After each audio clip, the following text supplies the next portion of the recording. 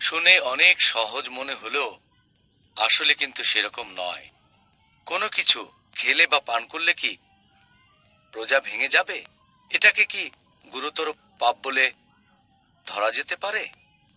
রোজা রেখে যদি ইচ্ছাকৃতভাবে পানাহার করেন, তাহলে সেটা বড় গুণা রোজা রেখে কেউ ইচ্ছাকৃতভাবে খাওয়া দাওয়া করলে সেটা একটা বড় গুণা তখন তাকে আল্লাহ তালার কাছে তবা করতে হবে।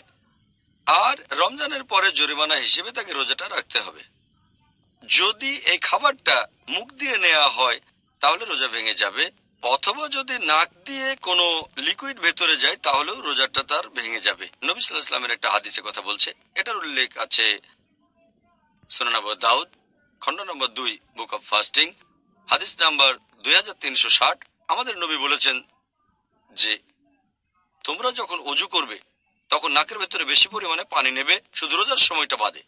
এ থেকেই বুঝতে পারছি নাকে বেশি পানি দেওয়া হলে যদি গলায় চলে যায়, তারপর চলে যায় পেটে, তাহলে রোজাটা ভেঙে যাবে। তাহলে নাক দিয়ে কোনো লিকুইড ভেতরে ঢুকলে সেটা পেটে চলে যাবে, গলার ভেতর দিয়ে। এরকম হলেও রোজা ভেঙে যাবে।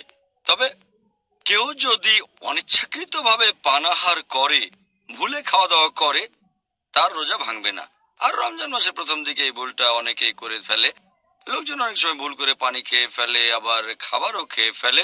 তাহলে প্রথম কয়েকটা দিন লোকজনের এরকম হতে পারে যে মনের ভুলে খাবার খেয়ে ফেলল, অথবা হয়তো পানিও খেয়ে ফেলল। এখন কেউ অনিচ্ছাকৃত ভাবে অথবা ধরুন ভুলে গিয়ে যদি কিছু খায় বা পান করে, তার রোজা ভাঙবে না।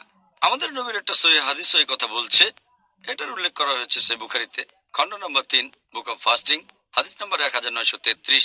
আমাদের প্রিয় নবী বলেছেন যে, যদি কোনো লোক অনিচ্ছাকৃতভাবে পানাহার করে, সে রোজাটা সম্পূর্ণ করবে। সে যা খেয়েছে বা পান করেছে, সেটা আল্লাহ তালার তরফ থেকে।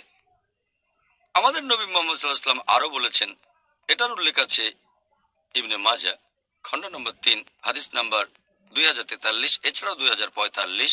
আমাদের প্রিয় নবী বলেছেন যে আল্লাহ তাআলা আমার উম্মাকে ক্ষমা করে দেবেন যদি তারা ভুলে যায়, ভুল করে, অথবা যদি জোর করে কিছু করানো হয়। যদি কেউ ভুল করে কিছু করে বা মনে না থাকে অথবা নিরুপায় হয়ে আল্লাহ তাকে ক্ষমা করবেন। শুধু ইচ্ছাকৃতভাবে খাওয়া দাওয়া করলেই রোজা ভেঙে যাবে, আর সেটা বড় গুণা